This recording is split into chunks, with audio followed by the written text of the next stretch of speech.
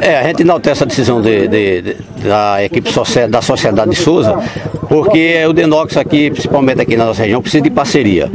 Então, o que a gente, nós temos consciência que é necessário fazer a recuperação de todo hidromecânico, inclusive já tem um processo em andamento lá desde 2014, pedindo para recuperar essas áreas, porque essa, essas comportas, porque exatamente é o momento, porque tá, o volume do açude está baixo, né?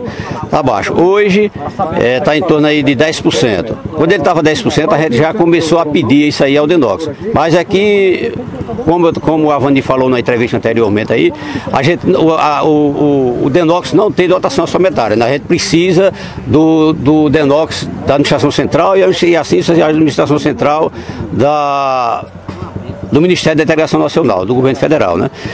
Então a gente há esse projeto, há esse processo de, de, de pedido para que recupere essa parte hidromecânica, mas o que a gente vê aí é que não há possibilidade nenhuma dessas comportas hoje, mesmo que estivesse recuperado, em abrir conta do volume de água, né?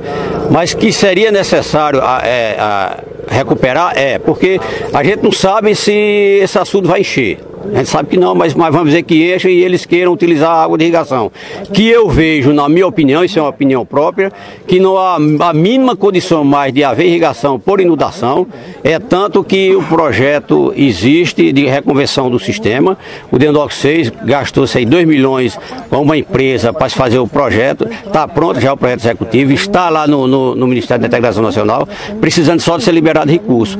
Então, essa equipe, essa equipe que veio aqui, eu até sugeria que procurasse aí o politicamente, os representantes políticos, para que brigasse, brigasse, para que ele brigasse a, a, a, liberar esse recurso, para que se faça a licitação de, da mudança do sistema de, de conversão, de irrigação do perímetro de irrigação Gonçalo, porque da forma que está, na minha opinião, não tem a mínima condições mais de, de, de haver irrigação de inundação. E Nath, é, São Gonçalo ficará no caminho das águas do, do Rio São Francisco? Com certeza, nós tivemos agora, ultimamente, uma caravana aí do, dos bispos, nós acompanhamos, e eu conversei conversei com, conversei com o secretário de, de Recursos Hídricos, secretário nacional de Recursos Hídricos, e ele falou que em maio a junho está terminando de, de, de, complementar a terceira estação de bombeamento. De lá para cá já tem uma condição já de soltar água para cá. Aí eu perguntei para ele, mas como é que você vai soltar água para gerar vidros se as condições que está lá o açude com relação ao sistema hidromecânico, como também São Gonçalo? Aí ele falou o seguinte, não, quando terminar esse projeto aqui em maio para frente, aí vai ter o, o, o, programa Caminho das Águas. O projeto Caminho das Águas, aí é que entra o, o açude, os, os rios, é, a limpeza dos rios, entendeu? Esse é o caminho das águas, foi isso que ele me falou. Então, eu acho até que, eu acho que até é um empecilho até para que o governo federal solte verba, solte recursos para recuperar essa parte da mecânica, onde ele já está dentro do, do, do, do, programa dele, do projeto de recuperação. Essa, essa comporta está aberta, mas apenas para abastecimento da água humana. É, essa comporta, como você viu ali, tem uma comporta no meio ali, essa comporta está aberta para abastecer a comunidade com água bruta. O pessoal lavar roupa, é, tomar banho, até banho nem tanto, que a água nem, nem, nem, Mas eles utilizam a comunidade, uma parte né, da comunidade, nem toda, utiliza-se dessa água. Aí você, como você viu ali, a gente deixou os dois as duas, as duas valetas ali cheias de água para mostrar que ela permanece cheia, que não está tendo vazamento.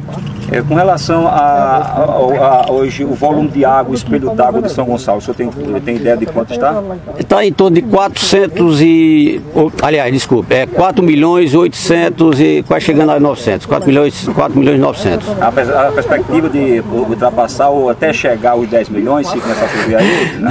perspectiva eu não sei, porque eu não, não é, aí não é na nossa área, né? Aí é, é, é é, aí seria o, o, meteorologista que poderia dizer isso. Que, que, ele só pode dizer se tiver chuva, né? Mas esperamos que chegue pelo menos aí uns 10 milhões para ter pelo menos água do consumo durante o, o ano todo.